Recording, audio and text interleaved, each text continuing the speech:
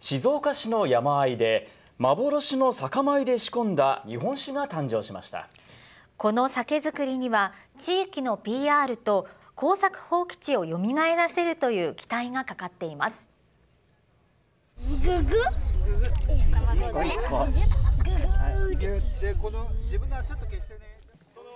今月1日静岡市清水区の両郷地地区で田植えの体験会がありました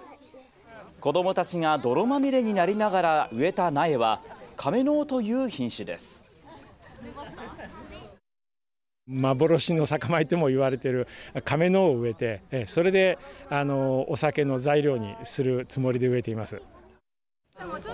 この地域の NPO は先月地元で育てた亀のと地元の地下水で仕込んだ酒両郷地ヌーボーを売り出しました前例がないんでですね。しかも量が少ないんで試しに実験するってこともできませんしそういうことなんでおっかなびっくりでこわごわこう試しながら作ったということですね。両郷地ヌーボーを仕込んだ蔵元は亀のの扱いに苦労したそうです。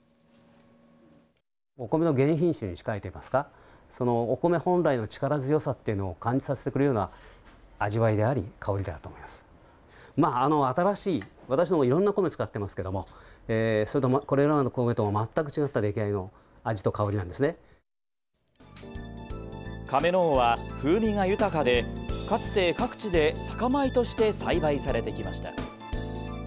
しかし収穫量が非常に少ないことなどから作付けは徐々に減りいつしか表舞台から姿を消していました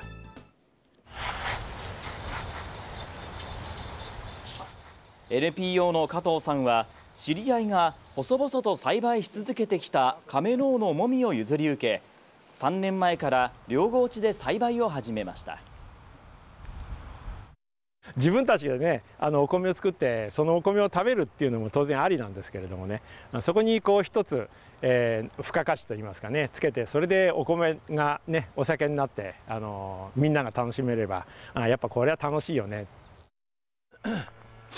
加藤さんたちは亀のの栽培で地域が抱える課題も解決しようとしています。そうここがここはまさしく耕作放棄地ですね。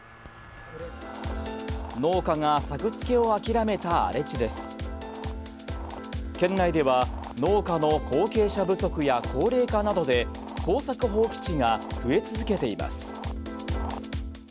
やっぱりね今まであの長いことこう耕作していた場所がね手が入らなくなっちゃうっていうのは、うん、やっぱり精神的にもね結構あの来るものがあると思いますよ。加藤さんたちは田植えの体験会などで亀のを植え耕作放棄地も蘇らそうという計画です。あいいですよね。あの綺麗な川があって山に囲まれて、はい、もう自然の中であの虫とも触れ合いながらあのこういう体験ができるのはすごくいいと思います。原料の米から始める酒造りは山あいの地域に活気を取り戻そうとしています